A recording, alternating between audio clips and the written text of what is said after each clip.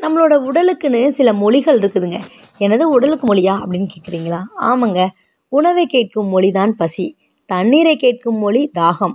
ஓய்வை கேட்கும் மொழி சோர்வு தலைவலி. நுரையீரலை தூய்மை செய்யும் மொழி தும்மல் சளி இருமல். உச்சி முதல் பாதம் வரை உள்ள கழிவுகளை வெளியேற்றுகிறேன் என்று சொல்லும் மொழி காய்ச்சல். காய்ச்சலின் போது உணவை உண்ணாதே என்று சொல்லும் மொழி வாய்க்கசப்பு மற்றும் பசியின்மை. காய்ச்சலின் போது நான் உடலை தூய்மை செய்கிறேன். நீ எந்த வேலையும் செய்யாதே என்று சொல்லும் மொழி உடல் அசதி. எனக்கு செரிமானமாகாத பொருளை நான் வெளியேற்றுகிறேன் என்று சொல்லும் மொழி வாந்தி. நான் குடல்களில் உள்ள கழிவுகளை வெளியேற்றுகிறேன் என்று சொல்லும் மொழி பேதி. இரத்தத்தில் உள்ள நஞ்சை நான் தோல் வழியாக வெளியேற்றுகிறேன் என்று சொல்லும் மொழி வியர்வை. நான் வெப்பநிலையை சீர் செய்து இரத்தத்தில் உள்ள நஞ்சை முறிக்கச் செய்கிறேன் என்று சொல்லும் மொழி உறக்கம். நான் முறித்த நஞ்சை இதோ வெளியேற்றுகிறேன் என்று சொல்லும் மொழி சிறுநீர் கழித்தல். உணவில் உள்ள சத்தை பிரித்து இரத்தத்தில் கலந்து சக்கையை வெளியேற்றுகிறேன் என்று சொல்லும் மொழி மலம் கழித்தல்.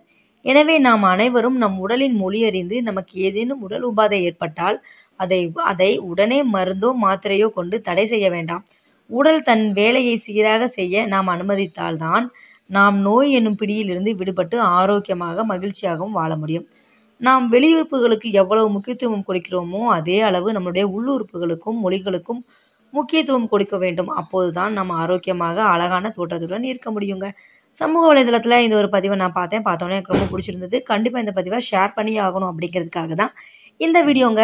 இதுக்கு கூடவே ஒரு ப்ளஸ் பாயிண்ட்டாக என்னன்னு பார்த்தீங்கன்னா புற்றுநோயை ஏற்படுத்தும் உணவுகள் என்னென்ன அப்படின்னு சொல்லிட்டு சமூக வலைதளத்தில் இந்த பதிவை பகிர்ந்திருந்தாங்க.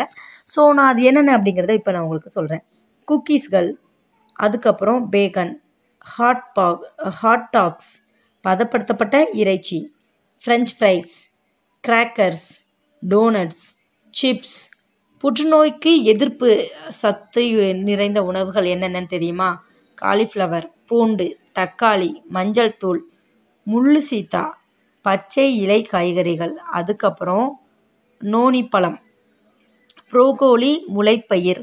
செம சூப்பர்லங்க ஸோ எதெல்லாம் புற்றுநோய் உண்டாகுமோ அதெல்லாம் தவிர்த்துட்டு இதெல்லாம் சாப்பிட்டிங்கன்னா புற்றுநோய் வராது அப்படின்னு சொல்லி ஒரு சில விஷயங்களையும் கொடுத்துருக்காங்க.